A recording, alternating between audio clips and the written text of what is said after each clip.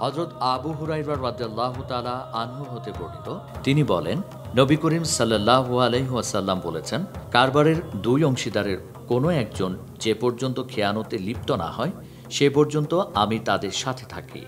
কিন্তু তাদের কেউ যখন খেয়ানত শুরু করে, তখন আমি তাদের পরিত্যাগ করি। অন্য এক বর্ণনা মতে, তখন তাদের মাঝে শয়তান এসে যায়। আল হাদিস।